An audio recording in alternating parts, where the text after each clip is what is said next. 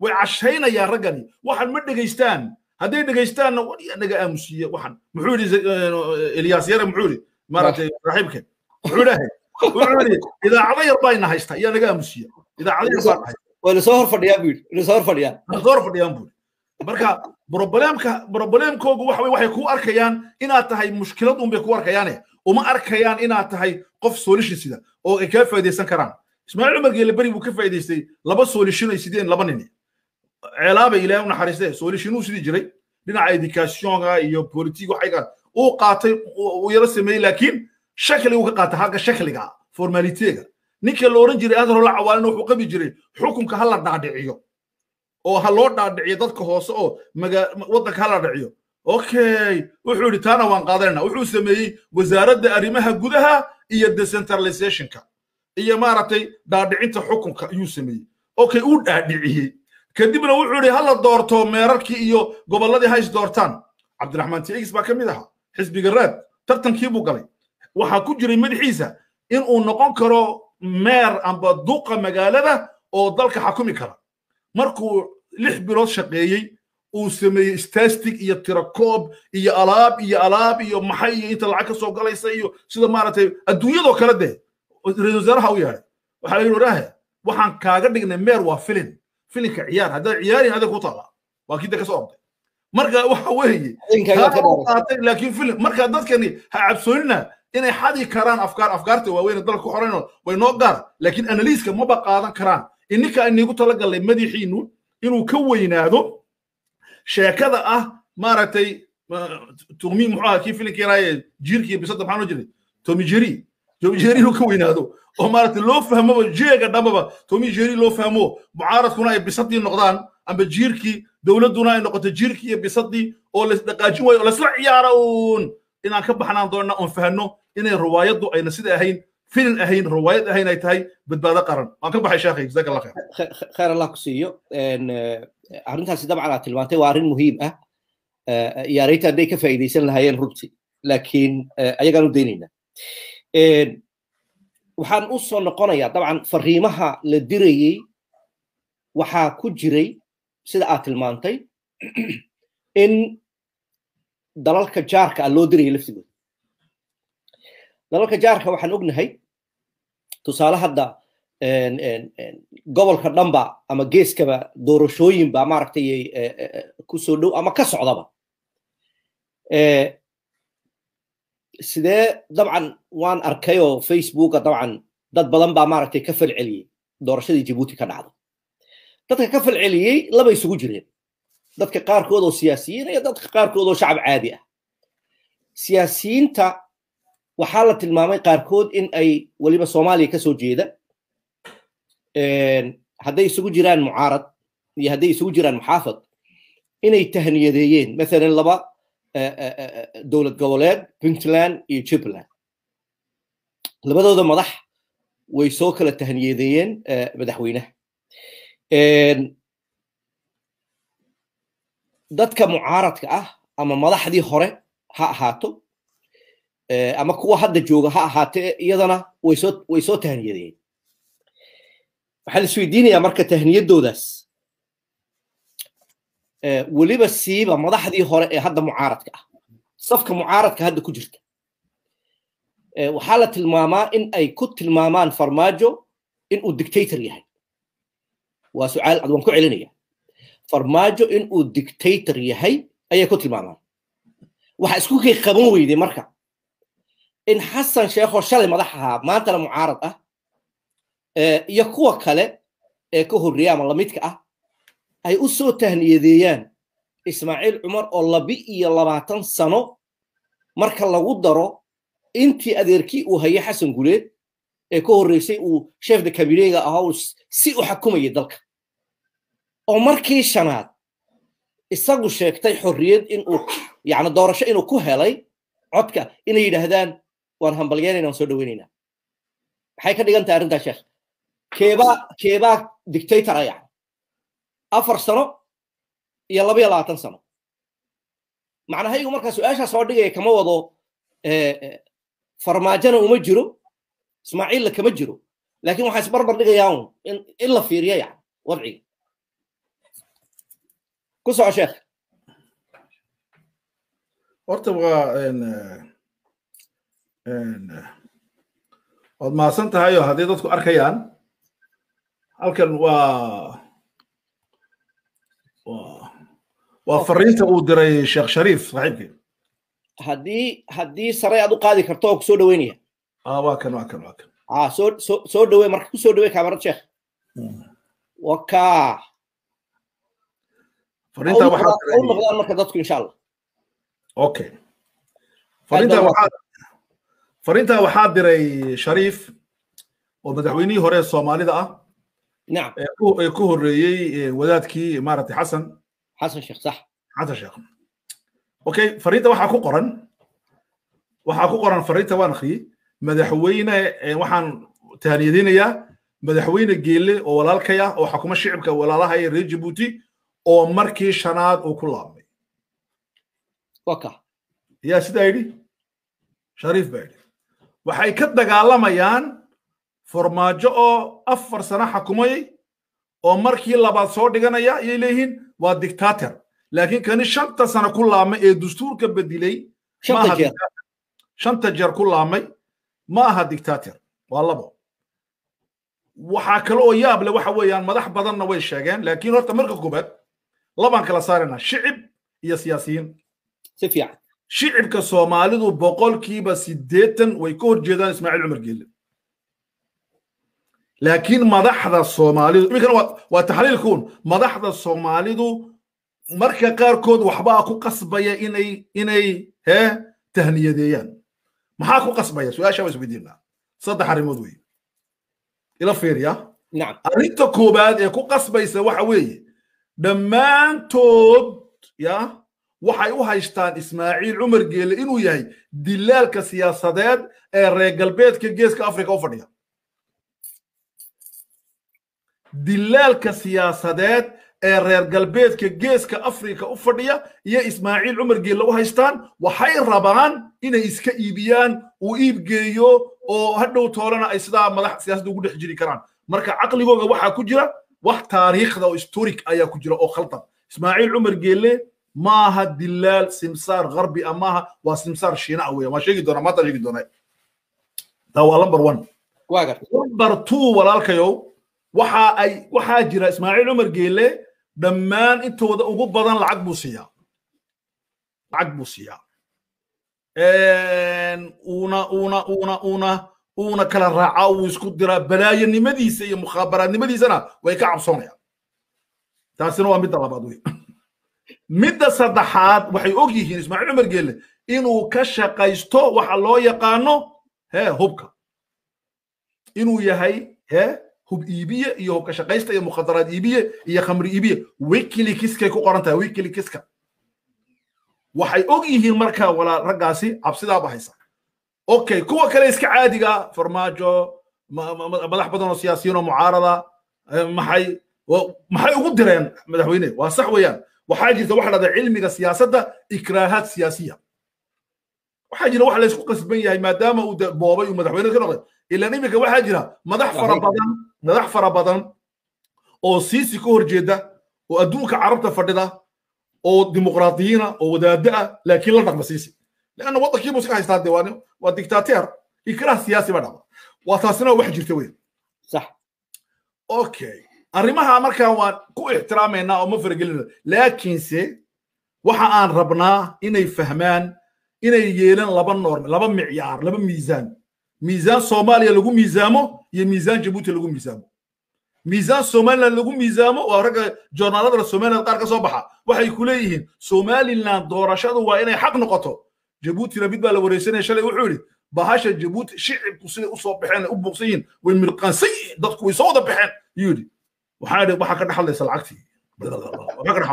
Maaha runtii ma sheegayo yacni qof damiirla maaha siduu xataa u hadlayo wuu eegayaa kii kii la hadlayo sidaa kale.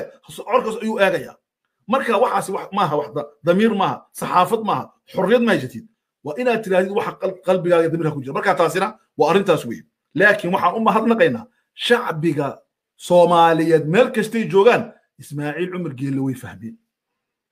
Arrinta kale ceebta ah maxay? Ceebta horta bini aadamku waxaa dhalaa idaa lam tastaxi fasnac maa shita nebi maxamed hadal uu dhameeyey sal slam wuxuu ihi waxyaalada nebiyadii hore ka hadhay waxaa ka mid a ee taariikhda galay haddaanad xishoonin waxaa dooni samee. Waar shan goor ninkas ku soo laabmay ee dastuur bedilay ee ummad haysta ee lacagtii waddanka boobay ma og tahay maanta waxaa la soo saaray in uu ku jiro toddoba nin ee qaaradda afrika ugu lacag badan. Toddobada qof ee afrika ugu lacag badan. Wuxuuna xakumaa waddanka afrika u gaajaysan ay sheegtay baanka adduunyadu ay xataa b b c du faafisay. Oo soomaaliya qurataa ka dambaysaa ninka halkaa xakuma. Yaa ninka la yidhaahdo ninkani ka yimid maxadhada cote d'ivoire ee gabadha ka qaba wuxuu haystaa baa iminka lix milyaar oo faraga jabuutiya tomi toddoba. Tomi yidhaahdo lix milyaar oo faranka jabuuti ah. Yacni ninkaas waxaa samaynaya ee dalkii oo dhan qaatee yeeshay ee ummaddii argagixiyey ee ka cabsiiyey in la yidhaahdo madaxweyne waan ammaanina ceeb bay ku tahay iyo taariikhdooda iyo noloshooda iyo ceeb ku tahay. Weliba waa ninka soomaaliya duminaya waa sheegnay boqol goor duminaya weeye. Marka yaka taas baa taariikhda u galaysa. Qofkan waa inuu dhowrto taariikhdiisa iyo damiirkiisa. Waan ka baxay. Sheekh aad baad u mahadsan tahay arrinta aad hadda tilmaantay ee ah in uu yahay ismaaciil ninka dadka ugu lacagta badan leh geeska africa waxaa jira jaraa'id la yidhaahdo idle net worth. oo aan jeclaan lahaa in ay inay inay inay booqdaan ay ziyaartaan waxaan rabaa haddii ay suuragal tahay in aan tuso walaalaha insha allahu tacaala biidni illahi alkariim in yar ii suga waxaan isku dayayaa inaan ini tuso haddii aan arki karo beijka maxaa yeelay waa muhiim inaad aragtaan. Ma la arkaa okay waa kana. Maxaad arkaysiin?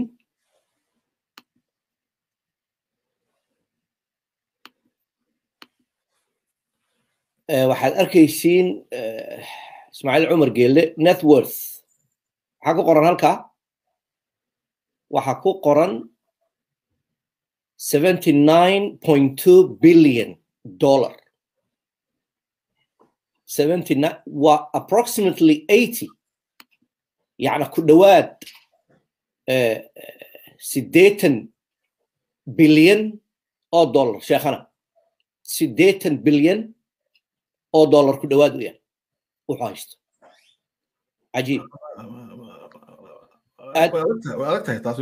kuwaasina aad aad aad aad ugu soo dhowaada dabcan ha biiriyaan laakiin waxay tilmaamayaan meelo badan bay ka soo tomi laftigiisa way soo qoreen oo inay isaguna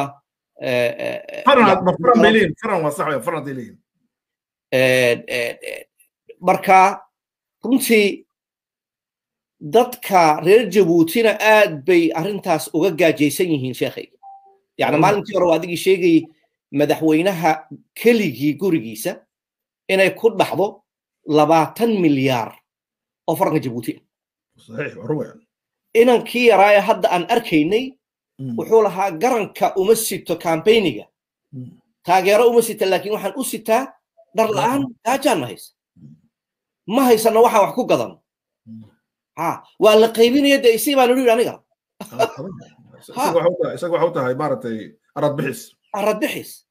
Subxaan allah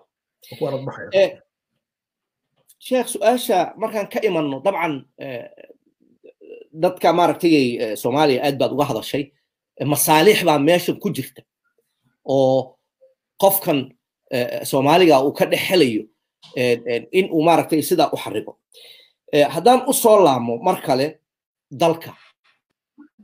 Doorashadii way dhammaatay ismaaciil uu ku soo noqday. Kursigii aad ka fadhiisto laakiin dadkii shacabkii reer jabuuti way sugayaan. Ummaddii waxay sugaysaa maaragtay inay wax helaan. Maxaa ku xiga doorashada ka bacdi sheekh? What's next? Okay. Intaanad ka jawaabin su'aasha sheekhaygii? Daraad waxaan ku soo qoray facebooka dadka soomaalida qaarkood waxay soo qoraan reer jabuutow nabadda haysta. Reer jabuutow soomaaliya ku quus qaata. Waa dadka qaarkood baa soo qora. Kaanama haddii laga hadlo isbeddel haddii xaq ha la raadsado la yidhaahdo in markiiba maskaxda qofka soomaaliga qori baa ku soo dhacaya iyo dagaal. Wiil baa haddaba wuxuu soo qoray jawaabtiisa aadaan uga helay. Dadka qaarkood mayna fahmin su'aashaas.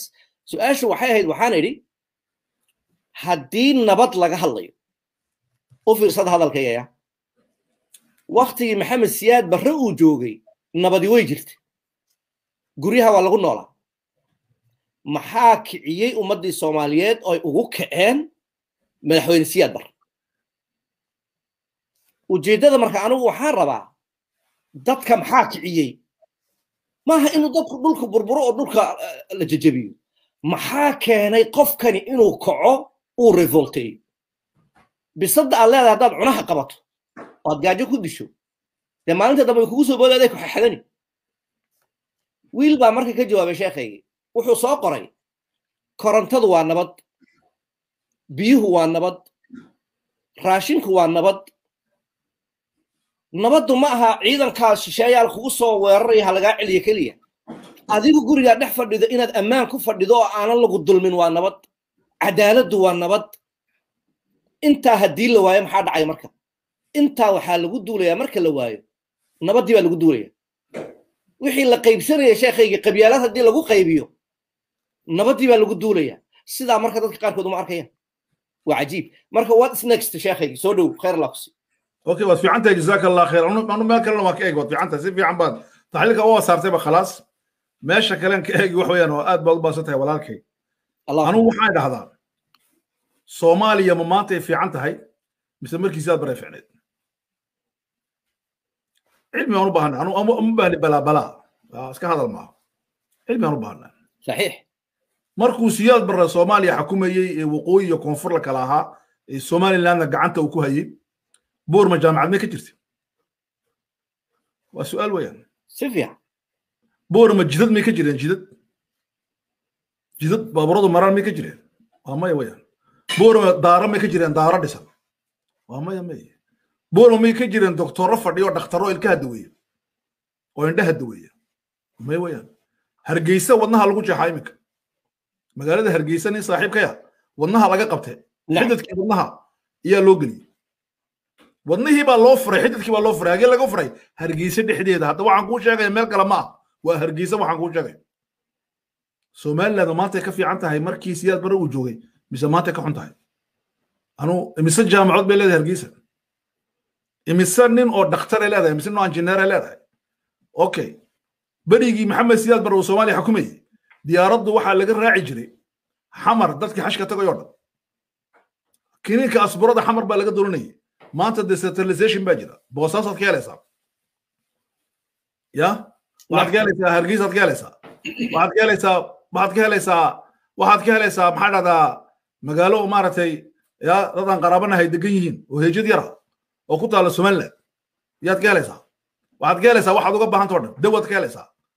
Akhi fillah soomaaliya maantay ka fiican tahay cilmiyan haddaad doontiin waa istarna ma inta inta baayac mushtari maanta jirta soomaaliya iyo markii sidaad bara joogay ma og tahay tobanka qof ee geeska afrika ugu lacag badan ee bayc mushtara soomaalidu afar bay ku leedahay afar nin bay ku leedahay soomaalidu soomaalida dee soomaaliya kulligooga bada maca somaliland maca jibuuti ku dar afar nin baan ku leenahay afar qof baan ku leenahay gabadhan tanzania ugandha fadhida yaan ku leenahay waxaan ku leenahay dahabshiil waxaan ku leenahay maaragtay xaajiga waxaan ku leenahay maaragtay barakaat waxaan ku leenahay cabdiraxmaan boori marka waxa weeye waa dadka afrika waa dadka geeska afrika ugu lacag badan lacagtoodu waxay dhaaftee milyar milyar dollar baan sheeganaya milyar dollar bay dhaaftee dadkaasi lacagtoodu. Marka markii markii maxay dadku haysteen? Su'aal kalaan ka jawaabaynaa. Iskuullada maanta jira ee min halka ilaal ka jira waa run iskoola dowladdu leedo manhaj baa lagu dhiganayay. Ya akhi been la iskuma sheego. Dadku dulmi iyo duqyaan way soo galeen way ku xoroobeen way sira dirareen waa la heshiiyey. Waxaan ka sheekayn doonaa maalin aan dheerayn aniga wadaad kale oo caalimo oo reer somaliland ah waxaan ka hadlaynaa sidee baa somaliland dowladda loo dhisay? Maxaa la soo maray jaranjarooyin? Sidee loo heshiiyey? Maxaa hore loogu heshiiyey oo darsi ugu jira koonfurta oo darsi ugu jira bariga oo darsi ugu jira jabuuti oo darsi ugu jira soomaalida gees maaragtay dowladda dowlad deegaanka maxaa duruus inoogu jira? Waxay sameeyeen reer somaliland. Iyaan ka hadli doonaa. Anaku siyaasad maaha waa cilmi eh waa cilmi waxa laga hadlayo. Marka haddaad tiraahduun waxbaa burburaya maaha waxbaa burburma waxbaa dhisma waxbaa dhisma waxbaa burburma noloshu waa sidaa weeye. Midda labaad ismaaciil cum diktaatorada dowladaha ee libiya qadaafi baa looda ogaya waxaa la dhaqmaysaa waa natiijadii. Culummo badanoos waxay leeyihiin siyaad bar haddaan iska dayn lahayn hee? Dee uu dhiman lahaa maaha saabay u haystaan. Nidaamku ma dhimanayo systemku ma dhimanayo. Systemka qof kalaa kori oo adeegsan doona maaha waa in systemkan la lido caqliga caqligu markuu cilmiyeysnayn uu scientific ahayn wuxuu ku dee maaha uu dhiman lahaa ma marka iska noolaan lahayn siyaad baan ku kacnay siyaad marka lagu kacayay waqooyi uba go'naaba dagaalaa ka dhacay waa la isku baaba'ay dadku waxay joogeen harta sheekha ummadda waa la waa la barakiciyey muxuu sameeyey maarata gobollada maaratay sun baa lagu shulay maxaan ku dhahdaa puntland maaragtay majarteenku dego waxa meelihii baa sun loogu shubay ceelka ay biyaha ka cabayeen yacni waxaa dhacay kawaris iminka kawarista jibuuti way ka dhacdaa. Laakiin kawarista waa la soo saari doonaa. Imse qof baa dhimatay imse qof baa la dilay imse qofoo maaragtay dhakhtarro ahaa imse injineer ahaa waa garanaysaa? Okay waxaa iskaga imamika su'aashu aan isweydiinayna waxa weeye dalkan iyuu gacanta ugu dhacay. Waa inaad taa ka jawaabno dalkan iyuu gacanta ugu dhacay dalkani wuxuu gacanta ugu dhacay waddanka dhahdo china. Dhammaan raaboorada taqaariirta dawligoo dhan waxay sheegayaan labada sane ee soo socota haddii jabuuti la badbaadin waayo dalka ismaaciil cumar waxaa la maamuli doonaa china. Muxuu sameeyey china? China ismaaciil cumar wuxuu ka yidhi ku soo laaman kursiga. Haddaad ku soo laami weydid anaga kugu soo celina. Ama qof aan dhigana dhiganana wax cad bay ahayd. Ismaaciil cumar geli naf baa haysay wuxuu zakariya rebonska uu bixiye uu yidhi quwadda daba joogta geela waa annaka uu leeyana jaynahana uu jawaabay. Marka quwadda kuu sheegay waa taa. Jaynuhu jabuuti wuxuu geliyey laba iyo toban ilaa afar iyo toban milyaar oo dollar oo boqolkiiba boqol amaaha oo ayna ku jirin doon waxa dhacdo hiba kuma jirto minaxo. Siin ma leh. Jabuuti deynka lagu leeyahay boqolkiiba toddobaatan waxaa bixiyey dalka jaynaha jaynuhu iminka griega wuxuu la wareegay maamulkiisa meelo badan. Waxaan iminka arkaa oon maqlaa. Nin ka shaqeeya maxaan dhahdaa meeshani boorka xakuma. Oo maarata abubakar dhahdo dikadda jabuuti wuxuu had iyo dhahdaa waan dhaqaajinay waan oxanay sidii waxbar buu bartay. Laakiin wuxuu og yahayna isagu inuu jaynuhu qabsan doono dikadahan oo dhan. Waxaa weliba aan maqlay weli waan maqlay kamaan daba tegin inuu jaynuhu xataa booliiska gacanta ku dhigi doono. Meeshan la leeyahay bahalkan la yidhahda tareenka la yidhahdana jaynuhuba la wareegayba taa dadka looma sheego. Jaynuhu boqolkiiba boqol uu la wareegay etoobiyana uu kala hadlay tanna uu la hadlay uu la wareegay. Idan waxa su'aashu waxa weeyaan waddankan waxaa maalgashi uu kula wareegaya samey jaynaha maxaa jaynuhu muxuu waxaan u samaynayaa wuxuu u samaynayaa laba shay. Jaynuhu wuxuu ku tala jiraa labada kun iyo shan iyo soddon inuu noqdo awoodda koowaad ee adduunka. Wuxuuna sameeyey waxa la yidhaahdo dariiqa xariirta. Wuxuuna ka dhigay jabuuti meesha lafdabarka ka dariiqa xariirta. Jabuutina wuxuu arkayaa puan istraatiijiya oo laba boqol oo malyuun oo afrikaana ay daba joogaan. Lama arkayo jabuuti malyuun baa degan iyo dad baa degan iyo. Ismaaciil baa waxaan ma arkayo. Lacag uu buudhiyo iska dhaafaa ismaaciil cumar. Jaynuhu meel buu ku socdaa? Taasi waa midda koowaad weeye. Midda labaadi waxa weeye jaynuhu ciidamada wuxuu u keenay inay awood u ilaaliyaan xoolihiisa iyo dhaqaalihiisa oo qof qof ay u qabtaan qofkiis dhaqaajiya lianna jaynuhu ma ciyaarayo. Jaynuhu wuxuu yidhi waa inaan noqdo lamber one amba waa inaan dhinto. Wuuna noqonayaana. Waxaa la oran jiray shiinaha iyo maraykanku waxay isku qabsan doonaan xeebaha shiinaha iyo jabaanka sharqiga sharqi aasiyada bariga aasiya ee fog. Laakiin maanta waxaa lagu soo daray meelaha ay maraykan iyo china isku qabsan doonaan ee lamber one ah waa jabuuti marka nolosheenna yare afarteena yare masaakiinta ah ee maaragtay uuna soo ururiyey uu heesileeya garamaanta uu noo wada geliyey nolosheennu waxay ku jirtaa halis.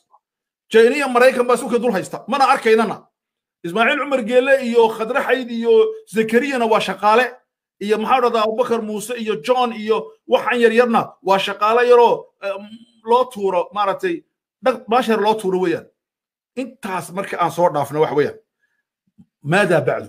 Nacam maxaa ka dambeeya saddex shay afar shay qabso afar shay qabso adiga iyo dhegeystayaashaba kow maxaa ka dambeeya waxa dhacda waxaa jirta alqaraar almurtahan afka carabiga waa istaraatiijiya waxa dhahan waa decision rahaano galay rahaano decisionkii jabuuti waa la rahaaneeyey yaa loo dhiibay china loo dhiibay awaltoore decisionkeena faransiis baa hayn jiray iyo sacuudi xasan guuleed ilaa u naxariistay wuxuu oran jiray decision haddaan qaadanayna carabta ku saabsan sacuudiga iyo masar baan la soconaynaa adduunyadana faransiiskaa la soconaa labadaaba naxakutu oran jiray.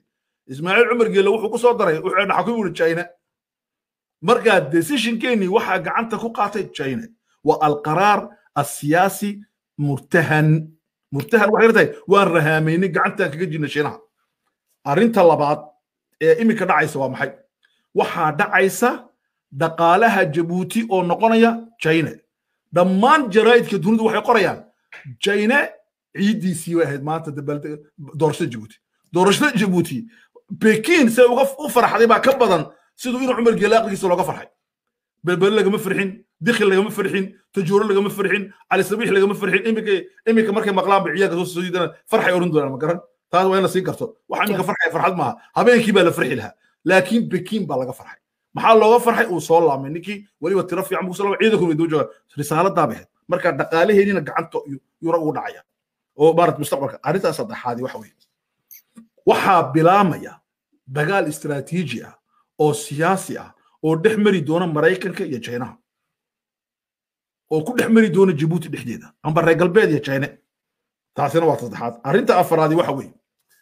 Ragga mucaaradka ee aan ka hadli doono isbeddel doonka ah iyo dowladda jabuutina waxaa bilaamaya dagaalkii ugu khadhaadhsanaa iminka dad baa ii soo qoraya run iyo been waxay tahay lama garanayo waa la xidhay zakariye weliba kuwa soo qoraya waa kuwa ka agdhow nidaamka. Sistemkay ka agdhow yaraa waa la xidhay. Zakariye waa la xidhay iyo waa la hayaa iyo waxaas wax caadiya weeyaan. Haddii la doono waa la sumayn asraar buu hayaaya waa la diliye haddii la doono kasta lagu samayn karaya wakiil la tartamaya yani ya wakiil la tartamaya wakiil la tartamaya zakariye waa garaa taqriir ninka dadka jiray okay waxa weeyaan waxaa bilaami doonaa dad badan in laga takhaluso dad badan in la laayo dad badan in lala dagaalamo laakiin dariiqii isbeddelka iyaa lagu dhacay ee xaqiiqiga ahaa taasina waxaan ka sheegi doonaa ramadaanka dabadiisa loogu dhacayo waxay tahay waan ka baxay insha allah maadaa bacdu jazaaka allah khayr aad baad u mahadsan tahay khayr allah ku siiyo su'aalo runtii la xidhiidha mustaqbalka su'aashii u dambeysay ayaan maaragtay hadduu aaba idmo aan geli doonaa inkasta oon rajaynayo haddii uu aaba idmo in xalaqaadka caynkan oo kale ah ay socon doonaan biidn illahi alkariim sheekh arrinta hadda taagan waxaad moodaa meel adag in ay rako in ay ku jirto ay marayso. Reer jabuutina xaaladoodu ilaahay og yahay marka laga hadlo majorityga. In yar uun in ay ku nooshahay maaragtay guudka iyo iyo haramuus. Inta kalena ay beerka dhulka ku hayaan. Haddaba waxaa jira dad isbeddel doon ah. Dhalinyaro haween rag aqoon-yahan siyaasiyiin intaba rabta in uu dalku isbedelo. Dad badani waxay leeyihiin qaarkood isbeddel aan loo dhaqaaqaynin oo uun ah hadal ma imanayo isbeddelku wuxuu u baahan yahay in la qaado yacna janalo badan oo la maro ayaa jira oo isbeddelka lagu raadi maxaa keenay markaa in yacna isbeddelka raadintiisu uu yahay un keliya hadal. Taa macnaheedu yacna tallaabaqaadku in la isku yimaado in la heshiiyo in caalamka lala xidhiidho oo maaragtay hay'aad kala duwan lala xidhiidho. Marka halkan waxaan rabaa runtii in aan tahniyad badan u diro walaalaha isbeddel doonka ah fikirka la wadaaga ummadooda reer jabuuti hadday qoraan yihiin oo waxaan garanaynaa iminka dhallinyaro wada aqoon-yahan ah ciidanka ku jiray qaarkood sibil ah oo buugaan qoray oo laga soo caydhiyay dalkoodii mucaarad baa jira iyaga laftigoodu. Aanan dalka markay joogeen aan hadli karin. Dadka qaarkood waxay leeyihiin dalka gala dee bannaankaa ku hadlinay okay dadka dalka galay waxaa ka mid ah cabdiraxmaan markad kheer allah siiyo cunaha lagaga dhegan yahayoo waad aragtiin maaragtay sida loo hayo. Ilaaha xafido. Iyo in kale oo maaragtay joogto. Sheekh talada aad u gudbinaysahay hameen dhaweydna dabcan waad hadashay. Waa la gali doonaa baa tiri dalka. Sidee ugu sahlan oo isugu iman karaan? Aqoon-yahanka waxgaradka mucaaradka isbeddel doonka qofka isbeddel doonka inuu siyaasi noqdo sheekh waan garanay jazaak allah khayr fadal waxaan ka hadlaynaa afar jaranjaraan u qaybaynaa horta number one si istaraatiijiyan u hadlaynaya number one. Waxaa la dhahdaa kullu maa yuclam laa yuqaal wax kasti oo la og yahay oo shaqo ah lama sheego waxaa jira shaqada in la sheego iyo inaan la sheegin wax kastoo idaacadda laga sheegayo wixii laga shaqaynaya maaha inay jiraan wax hoosta laga shaqaynayo oo shaqa ah marka kullu maa yuclam kullu maa yukhatad wax kastoo planificationa lama sheego. Jaangoyntoo dhan lama sheego. Marka iclaamku waxbaa loogu talagalaa waxna waxaa loogu talagalaa shaqo. Taasi waa midda koowaad wey nacam. Labo ninka la dhahdo doctor jasim sultan oo caalim dalka qatara oo ah caalim weyn oo istaraatiijikal ah oo ku takhasusay cilmiga isbeddelka cilmu taqyiir taqyiirku imika waa cilmi ah waa cilmi Nacam. bedelku waa cilmi jaamacada lagu dhigto cilmigaa buu ka yahay professor waxa uu yidhi saddex shay waa in la garto reer jabuuti reer soomaaliya reer maaragtay dadkeenna ha gartaan saddex shay somaliland naga soo degannahay wuxuu idhahdaa alkalaamu fi zamani samti camal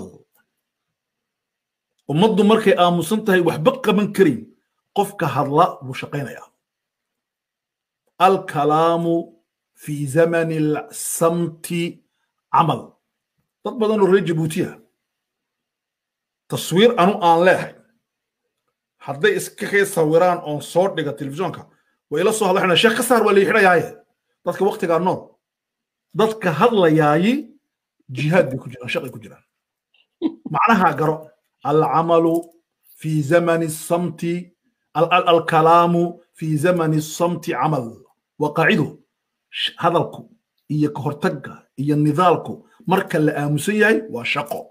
Ma aha hadal maaha wuxu waa shaqo.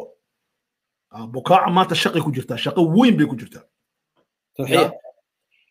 Ninka la idhaahdo maxaa dhahdaa cumar kabtan cumar raggii maalintooda islaam ayuu ku jiraay waa iloobay kabtan cumar. Shaqo weyn buu ku jiraa. Deeqa ciise gabadha la idhaahdo shaqo weyn bay ku jirtaa. Markaasi dadkani alkalaam fi zamani samt imisla aamusan waa camal waa tu labaa soo maha arrin saddexaad waxa weeyaan alcamalu alcamalu fi zamani alhuruubi min alcamali jihaad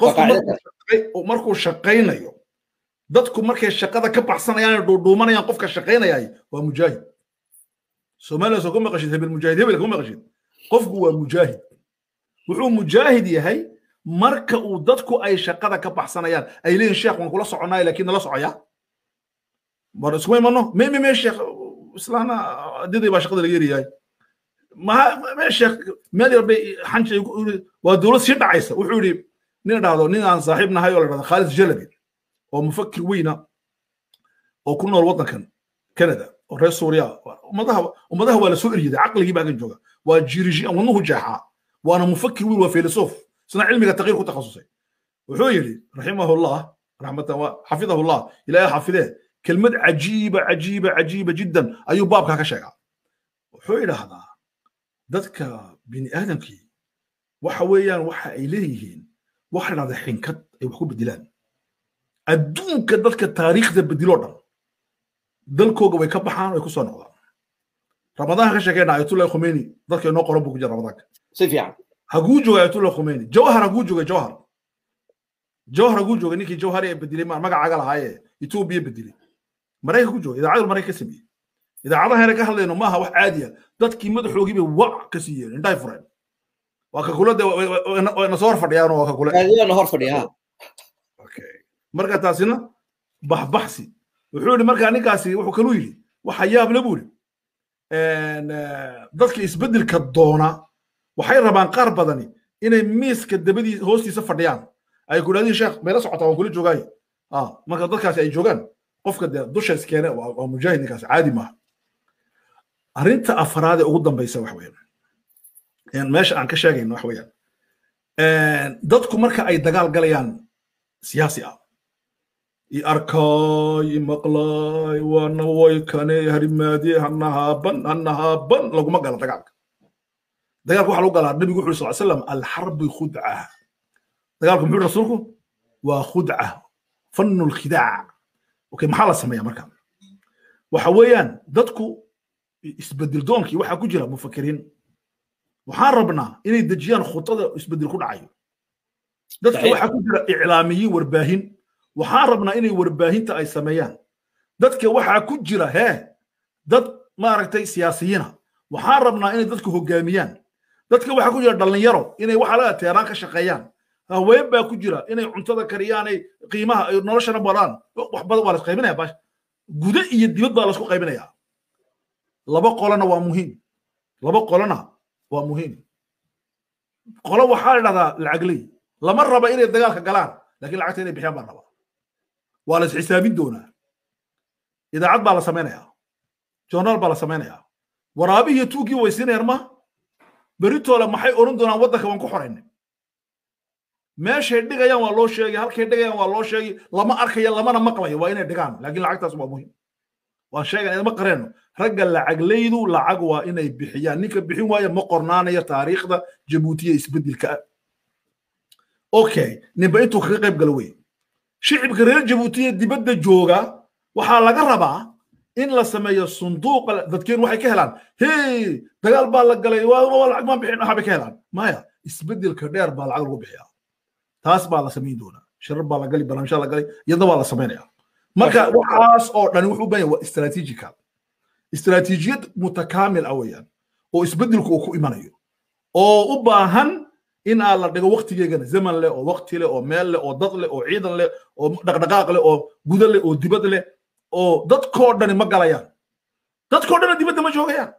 Waa la isbuuxinaya yaa kuu noqonay yaa kuu hadlay yaa wax kuu macnayni warkaaga yaa dunida gaadhsiini yaa warkaa adigu soo gaadhsiini waxani waa khutay u baahan tahay waa planification marka istaraatiijiyadana waa la wadaya marka maxaa loo baahan yahay? Waa inay waa inay afarta qole ee ugu muhiimsan dalka isbedelkiisa ay yeesheen dhalinyaraa ka maqlayay waan fashilanay oo goormaan fashilantay. Goormaan fashilanay daahir axmed faarax dagaalka wuxuu ku jiraa shan laanta sannadood weliba maqal waan fashilmay isagoo le vansainkan buu ku jiraa dagaal siyaasi ah. Ma fashilmin dee? Anagu ducaad baan nahay dadka inaan diinta gaadhsiino iyaan rabnay. Waxaan bilownay anagoo ciyaal yaryara oo ilma carruurteeda ka yaryar intanaan leekaanay laakiin ma oran waan fashilnay waxbay ma qabanay siyaasadda waxaan ku jirnaa dhowr toban sannadood shan toban sannadood maan oran waan fashilanay ma fashilmayno fashilku maaha waxa ummad marka la dhisayo laguma shaqeeyo eeg rag baa ka fikiraya inay ismaaciil cumar eriyaan ismaaciil cumar eriday ismaaciil cumar ismaaciil cumar yar baa ku soo fadhiisanay meesha maaha waxa la eriyo qof maaha wuxuu waa sistem marka ikhwaani fillah waa inaad caqligaaga ballaadhisid ballaadhisid ballaadhisid wey iminka maad oran kartaa cumar raabe ninkii looran jiray naxariista doktorkii uu fashilay maad oran karaysaa wuxuu doonayay ma gaadhin soomaali weyn buu doonayay maxay weyn buu doonayay maad oran ma fashil ma ma oran karaysa wuxuu doonayay uu dhigay meel buu wixii buu ka tagay. Alla fashilma iyo luqadaasi luqad inaan ku sheekayna amaha waxa fashilmay systemka. Systemka uu kari waayey inay inay reer jabuuti ay doortaan. Inuu qanciyo reer jabuuti uu kari waayo jazaaka allah khair waan ka baxay insha allah. Aad baad u mahadsan tahay gebagabadii baan maraynaa. Dabcan waa sidaad u dhigtay sheekhaygii waxaa laga yaabaa dhallinyarada tilmaantay in ay arkeen malaha u s n t oo ay u qaateen inay fashal tahay laakiin dadku way jiraan isbeddel doonkii wuu jiraa waa la nool yahay weli midda u s n taan kuu sheegaya e s n tu waxay ahayd shaqooyinkii ugu qurux badnaa jabuuti ka dhacay esantu taariikhda jabuuti lafdhabar way ka jirtaa sidii isku taggii muuse axmed oo kale isaguna wuxuu ahaa isku tag waxaa jira kelmad uu yidhahdo daahir axmed faarax wuxuu dhahdaa ismaaciil cumar wuxuu noo qabtay berigii aan muuse axmed isku tagnay wuxuu noo qabtay buuri bil laakiin waxaan sii jirnay buuri saddex bilood. Markii eesanta la sameeyena wuxuu noo qabtay buuri saddex bilood waxaan jirnay buuri afar sannadood. Marka marta dambe la sameeyana wuxuu qaban doonaa sanad laakiin waa eryeysaa wuxuu waa sidaa waa jaranjaro. Waxaan aqal la dhisay weeyaan. Waa experience waa khibrad. Khibradaha lama caayo. Khibradaha lama caayo. Khibradaha waa la koriyaa waana uskagegana waa la daadiyaa wax xunna waa laga daadiyaa. Weliba rasi raganimo ah ayaa dhowta maqaalan qora ka qoray asxaab aan aan ka qoray oo yidhi maxaan kuwa ula saaxiib ahaa niba zaawiyad buu ka akhriyey. Allah sheekhi qorada uu ka tagay. Allah may qorada weysideen alla saaxiibadii. Waxay ka akhriyeen zaawiyaad. Leanno akhrista iminka waddanka kanadaan fadhiyaa. Salaada subax markaad bilowdid ilaa iyo habeenka aad seexanaysid. Sheekhow haddaad tirahdid waxa la qoray akhri ma dhamin karaysid subax kastiba journal baa soo baxa intaasoo qof wax qorta boqol wax la qoraa dadkii qoris bay ku nool yihiin. Anagu wax ma qorno qofka wax qoraa la isku yimaada alla muxuu qoray. Hey wax buu qoray alla muxuu isanu yidhiyey waa waxay eegayaan. Waxaan u baahannahay ummaduhu inay wax qoraan wax akhriyaan wax dhegaystaan iska daadiyaan experiensyo badan experiensyo kale aan galno oon hagaajinno waa qurux. Marka aniga waxay la tahay esn qurux bay ahayd.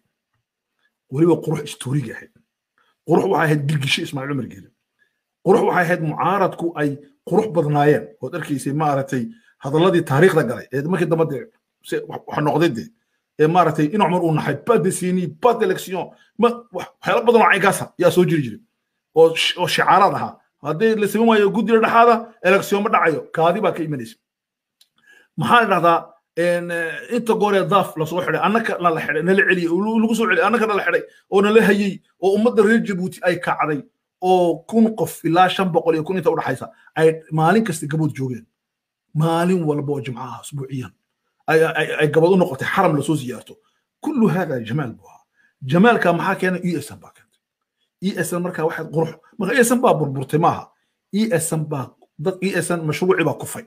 Ma burburin e mucaaradkii ma dhiman waxaa kufay mashruuci baa kufay uu kufay tacasub dhaa qof markuu socdo uu kufaama uu kacade marka kicitaankuna ummadaha waqti buu qaataa. Waa la kacayaa de waa la soo kacayaa marka la soo kacana waa la bilaabaya dariiqa. Marka experiencekii baa la qaadanaya. Dhalinyaradan iminka maaragtay c n maaragtay xakumo amba maaragtay iyo maxaan ku rahdaa bukaaco amba qolada kale maaragtay friid ku xakumaan amba dhalinyaradan kale ee maxaan ku rahdaa isbeddel kale waxoo dhan waxoo dhani waa dad wada fiican anu saan u haysto weena iyagu isku haystaan maaha anigu anu waa saan u haysto waa dad wada fiican isbeddel bedel doona u baahan inaa inaa inaad dariiqa un listuso waa baahsantahay sheekhay jazaaka allah khayr aad aad aad baa kaaga mahadinaya sheekh runtii tusaale qurux badan waxa ugu filan dadku marka ay isbeddel doon yihiin ama ay wax raadinayaan horumar ninkii nalka helay waxaa la yidhaahdaa kun jeer ayuu ku celiyey waad ku fashilantaa la yidhi markaasuu yidhi kun jeer oo waxay ahayd isku day ah. isku day ah oo aan yani khibrad waxay ahayd qaabkii aan lagu helin nalka. Marka waa sax weeyaan. Waxaanse ku darayaa sheekhaygii kolley marka wax la diraasaynayo waxaa jira review in la sameeyo in in in muraajaca la sameeyo oo halkee marka dambe si aynan wixii shalay soo dhacay uunan dib u soo noqonin. Maxaa lagaga hortegaya waxyaabaha lagu horumaray dabcan lajaradaadii aad kaga hadlaysay maaragtay isbeddelka iyo takyiirka ayay ku jirtay dabcan waan odhan karo ha ugu laamaan dhalinyaradu runtii gabagabadii baan joognaa sheekhana dabcan haddii ay wax kuu dhiman tahay daqiiqad waan ku siin karaa in aad noogu darto ugu dambayntii. Laakiin waxaan rabaa inaan arrintii ramadaanka aan gallo haddii alla yidhaahdo biidni illahi alkariim marka intaanan gelin haddii aad wax ku darayso jazaaka allahu khayran arrinta muraajacada iyo horumarka sida loo dhaqaajin karo waxaan jeclahay halkan inaan inaan inaan inaan inaan salaan uga diro hogaamiyayaasha siyaasadda ee dalkeenna ee mucaaradka ah. Inaan halkan uga diro salaan isbeddel doonka dalkeenna inaan halkan salaan uga diro aqoon-yahanka dalkeenna inaan halkan salaan uga diro fanaaniinta nool ee dalkeenna fanaaniinta nool weli sii nool. Inaan xaggan salaan uga diro fanaaniinta taa haysa. Problemyadu haystaan. Inay baabu toobana u furan tahay iska soo laami karaan. Ninkii laami karo iska laami karo. Waxaan halkan fariinaan uga dira doonayaa in dowrka ninka maaragtay hal abuurka ah iyo fanka maaragtay qaarkood wax fiican bay samayn jireen berigii geesanta way daaleen lama daalo. Lagama daalo waa inay wadaan waadiradaa waxaan ka sugayaa fanaankii la dhahda xasan wado heestii ahayd qasab tu qasab. Inuu isaguna inuu soo tuuro. Waan ka sugayaa insha allahu tacaala. Waxaan ka sugaynaa maaragtay ragga daaxaye aad buu ubahansan yahay gabadha maaragtay deeqa ciise iyadoo heestii way iska daysay jazaha allahu khayran. Laakiin waxaan ka sugaynaa inay daf iyo ku qaado anaashiid ilahay cod fiican buu siiyey oo dalka ay maaragtay ku xorayso. Iyadana waan ka sugaynaa. Intaan ka gudbin halkaas. Intaan halkaa ka gudbin waxaan rabaa inaan inaan inaan sheego yacna in aan ka hadli doono maalin fanka fiican dadka islaamiyiintu ay isticmaali karaan. Ama qofka islaamkiyo fanka. Ramadaanka ka hadlayna insha allah. Islaamkiyo fanka ramadaanka baraajo waxaan ka samayn doona insha allah aad baad umaadsantahay dhammaantood waxaan leenahay jazaakum allahu khayran. Aad baad u mahadsantihiin. Dadweynaha jabuuti gudaha jooga oo ina soo siiya macluumaadka iyo informationka bisil ee fiican iyakana waan u mahadnaqaynaa. Halkaa waa inay kaga sii hayaan. Waxaan kaloon u mahadnaqaynaa ragga halgamayaasha ee barnaamijyada kala duwan sameeya sida idaacadaha iyo telefishinada yaryar ee soo kobcaya oo isku iman doonaan iyakana waan samayn doonaa insha allah waxaan ku tala jiraa kuwani canada jooga inaan ramadaanka hadduu ilaahay naga khafiifiyo. Barnaamijkan la dhahdo covidka mar dambana la xereeyey. Inaan maalin u sameeyo inta halkan joogta maalin afur aan u sameeyo oon u mahadnaqo oon ku idhaahdo shaqo weyn baad waxaan u baahannahay inaan istaraatiiji aan isla dejino iyakana waan u mahadnaqayaa dhalinyarada aadka u kacsan meel kastii adduunka joogta iyakana waan u mahadnaqayaa insha allah waxa mahadnaqaa baan jecelahay maadaama reer jabuuti maanta ay qaadeen khatwo ayna dad badani ay la socon oo ah très positive ah. Nin baa iiga sheekeeyey arxiba wuxuu yidhi waxaan hor fadhiistay kaartiga arxiba. Markii doorashadu ka dhacaysay iskuulkan hor fadhiistay buuri markii sagaalkii barkii tobankii ahayd baan hurti ka soo kacay buuri salaadii jumcaan baan ka tagay buuri haddana waan ku soo noqday buuri jimcihii waxaan ka tagay buuri casarkii waan ku tukaday buuri maqribkii baan ka baxay buuri waxaa galay buuri meesha dhan iskoolka dhanba lixdan qof baa gashay konton qof lixdan qof maxaa lahayd? Yaa gashay buuri oo futaysay waa imsa biro buu iskool ku leeyahay. Wuxuu ku leeyahay waan soo dhigi doonaa maalin dhow insha allah waxaa lay soo diray dadka waxaa laga reebayay maaragtay bahalkani maxaa dhahdaa mobeelada mobeelada waxaa laga reebayay albaabka hortiisa lamay gelin laakiin dad baa la galay oo la dhaafay. Dadkaasi waxay ii soo direen taswiro. Markii footeenin bay hoosta iyo ka tasawireen marka waxay ii soo direen bahladooda vida labadii duhurnimo afartii galnimo tobankii shantii galnimo lixdii way ii soo direen inta waan hayaa. Marka waxaas oo dhan anakoo hayna ayaa la yidhi waxaa footay dadka intaa leeg marka waxa weeyaan waxaa la dhahdaa maxaa dhahdaa goronyadu markii libaaxa aragto qoortay qarisaa waxay moodaa madaxay goobaysaa marka waxaa dhahdaa siyaasatu nacaamba siyaasadii goronyada siyaasadii goronyadu ismaan cumar samaynayaa duniduna way qoslayaan waxaa la dhahdaa adduunka markaad tagtid ee lagu soo dhaweynayo qiimahaagu waxa weeyaan shacbiga qiimaad ku dhex leedahay ummadaada qiimaad ku leedahay. Iminka bashaar al asad weli adduunka booqasho ma tagi karo. Qiimo male siisi markuu tagay odayga u socdo naftaa haysa. Marka taswiro waxaa jira aan mar dadka daawasiin doono isagoo daba ordaya maaragtay obama oo obamana uu la hadli leeyahay baynama obama uu maaragtay intuu soo kacay uu maaragtay ugu yimid erdogan meeshuu fadhiyey saasoo kale trump wuxuu yidhi markuu u yimiday siisi wuxuu yidhi dictatorkan dunida ugu jeclahay baad adu dictator almufadal adu dictator baa tahay buu ka leeyahay. Laakiin waa ku jecelahay maadaama aad waxaan doona hirgelinaysid erdoganna wuxuu ugu yimid kursigii uu ku salaamay.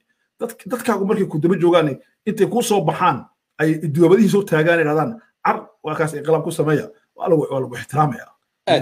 Walidaalika trump wuxuu yidhi erdogan waan jecelahay lianna waa geesi ee wuxuu yidhi dadna uu leeyahay muxuu yidhi dictator siisina waa nacaa laakiin waa dantayda waa dictatorkayga buri. Marka marka albaabada la xidhana waxa lagaa dhahaya ilaahay baa garanaya ee lagaa soo wada dareero. Markaasi qiimahaagu wuxuu ku xidhan yahay shacbiga kaa dambeeya intii lagihin waxaana dadka u sheegay maalintii looto inay midowga reer yurub iyo dhammaan faransiis iyo iyo maraykan iyo inay u dirteen indhahoogii arkayeen sida u foosha xun le ay doorashada u dhacday. Iyo wuxuu habeenka television ka sheegay. Subaxiina wuxuu ciidanka soo ordo kaalaya hees oo tusa gaalada haddii layla hadlo waxa meesha ka dhacaya dhiig badaadan waa intaa yar. Waan ka baxay. Jazakum allah khayr aad iyo aad baad u mahadsan tahay jazaaka allahu khayran walaalahay aad bay u mahadsan yihiin. Dabcan waxaan idin ogeysiinaynaa haddii eebba idmo in bishii barakaysnayd ee rabadaan in ay inoo soo gashay insha allahu tacaala. Bisha rabadaan in aan xalaqooyin aad u qiimo badan aan idinla wadaagi doonno oo kala duwan. Sheekh cabdiraxmaan haye horta xalaqooyinkii la xidhiidhayay liidarada caalamka soo maray amaba joogaba in aan in aan ka warrami doonno. Sidaas in la eg rabadaanka iyo takyiirkii iyadana maaragtay in wax laga dhihi doono hadduu ala yidhaahdo. Maxaad noogu daraysaa sheekh? Jazaak allah ragga aan ka hadlayno waa wada muslimiin.